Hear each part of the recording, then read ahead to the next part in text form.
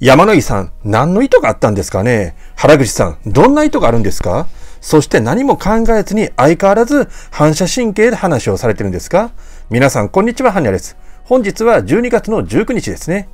で、先にこの動画の結論を申し上げると、もう原口さん、冗談抜きで仕事減らしなさい。わけわからん状態になってますよ。ということになります。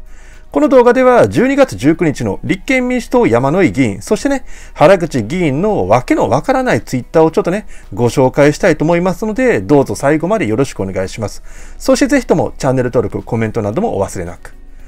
で、まずはこちらですね。立憲民主党の山野井衆議院議員のツイートをご覧ください。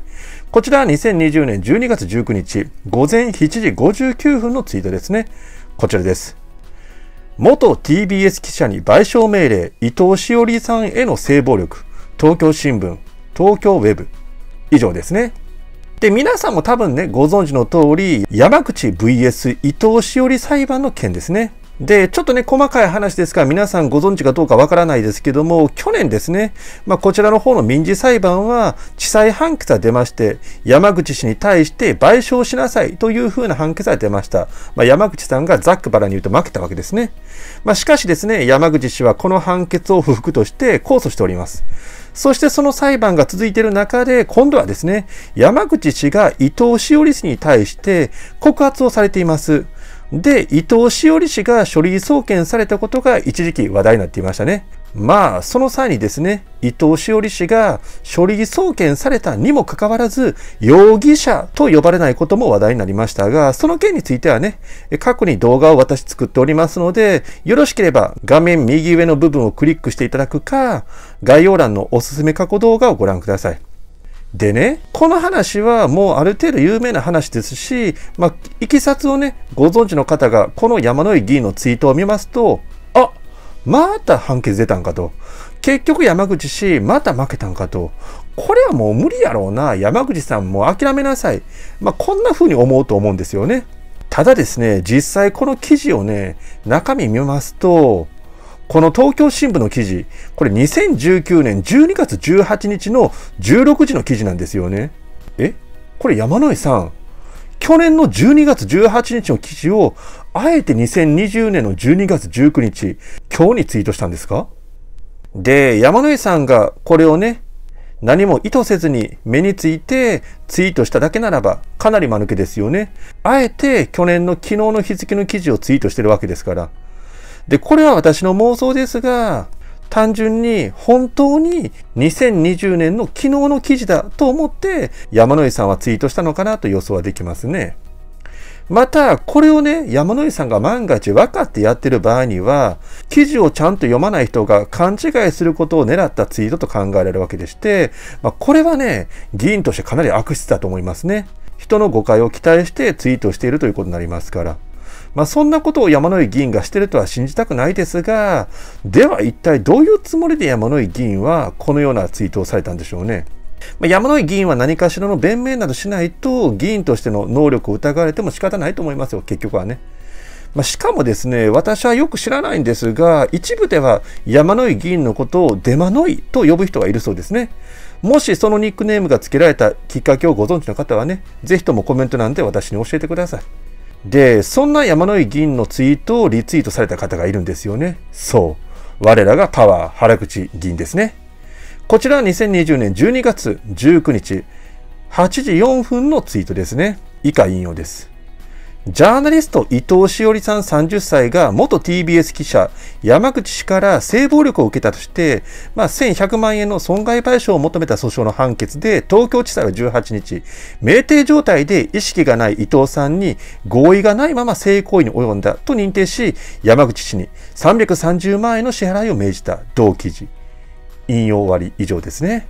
で、これですね、わざわざ私たち見てる方が記事を見なくても、原口さんが改めて記事の中身を引用していることによって、これ結局山口氏を攻撃していませんか？まあ、原口さんの行為が名誉毀損になるかどうかについては、ちょっとね、これ実は微妙なんです。現実に地裁判決が出ている以上、まあ、これを信用するのは仕方ないので、まあ、名誉毀損罪や、まあ、もしくは民事上の損害賠償請求が成立しないという考え方もあるんですね。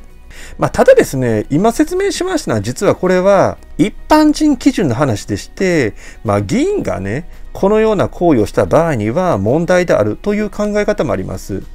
で、山井議員の場合には、記事の中身を見ないと山口氏の名前はわからない話ですが、原口氏の場合には、そのようなことはなくて、まあ、わざわざね、記事の中身を引用してて、山口氏って名前も出していますから、まあ、従ってですね、ただのこの原口さんのリツイートを見るだけで、山口氏の話と見てる方はすぐわかりますから、その分ね、原口さんの行為の方が山口氏からすると悪質と思ってしまうようなものでしょうね。そしてこの原口氏のツイートは、ツイート内容の中身以上にね、原口氏の問題点を浮き彫りにしていると思います。皆さん思い出してください。原口氏のツイートは山野井議員のツイートの直後にされたものです。山野井議員、2020年12月19日、7時59分。原口議員、2020年12月19日、8時4分。たった5分後なんですね、原口氏のツイートって。すなわちこれ原口さん、もともとの山野井さんのやつに関して中身をまともに見ずにリツイートされてませんか？もしかしたら原口さんは東京新聞の方の記事についてね、日付もろくに見ずに言いたい部分だけを引用して、まあ記事の中身を拡散しようとしたのかもしれません。また中身は分かった上で何かしらの意図があって、まあこのようなリツイートをね、されたのかもしれません。しかしですね、この事件は繰り返しになりますが、まだ控訴されている事件でありまして、わざわざ地裁判決についての話を国会議員が拡散する意味もわかりませんよね。でね、何かの事件のついでに、まあ、例えば、まあ、そんな事実は全くないんですけども、山口さんが今日何かをしでかしたりしましょうよ。で、その際に参考資料として過去の事件として今回ね、えー、2019年の東京地裁の判決に関して掲載するならわかるんですよ。でも、今回に関しては、なぜここでこんなことを原口さんとか山野井さんはされてるんでしょうね。で、皆さんどうですか？ご存知ですか？そういえば、ツイッターの機能に一部変更があったってことをご存知ですかね？正確に言いますと、変更がされなくなったということなんですね。まあ、今年の10月から実はですね、ツイッターのリツイートについて何かリツイートしようとしますと、引用リツイートが原則ということになってましたね。まあ、すなわち何も書かずにリツイートするんじゃなくて、リツイートする際には何かコメントを書いてくださいっていうのは原則になったんですよ。